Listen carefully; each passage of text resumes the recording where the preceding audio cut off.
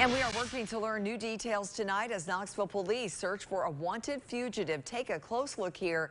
This is 19-year-old Joe McCaleb. He's wanted on numerous outstanding felony warrants out of Knox County, including four counts of attempted first-degree murder. We are told he should be considered armed and dangerous.